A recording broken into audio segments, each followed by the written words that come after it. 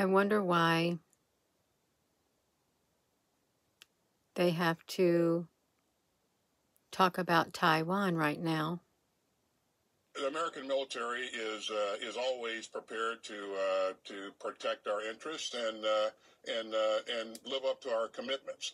Now, uh, certainly, the president's. I think the president was clear in, in providing his answers as he uh, responded to a hypothetical question. Uh, but uh, but again, uh, we continue to work to make sure that we have the right capabilities in in the right places to to ensure that we help our allies maintain a free and open uh, Indo-Pacific. So that was the defense secretary. We serve at Navy Mutual. That was the defense secretary. Look at this. Taiwan. News about Taiwan, U.S. Defense Secretary in China. Uh, he sees no imminent invasion of Taiwan by China. Why is he coming right out and saying that uh, at this particular moment in time? He stopped short of endorsing Biden's vow to defend Taiwan. Um, I just found that very um, strange. Hello, everyone. I won't be on here long at all because um, it's uh, very strange.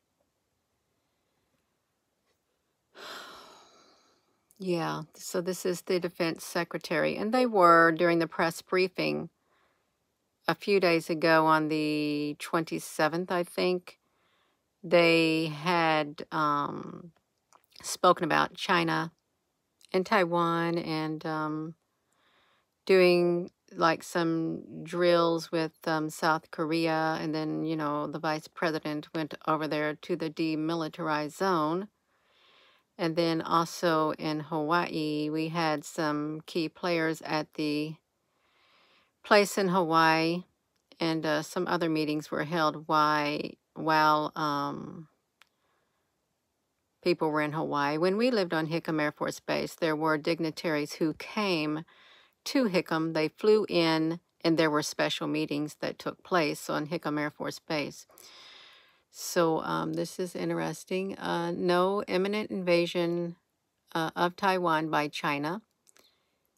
And uh, the ships, Chinese ships, are inching a little bit closer to uh, Japan and things like that.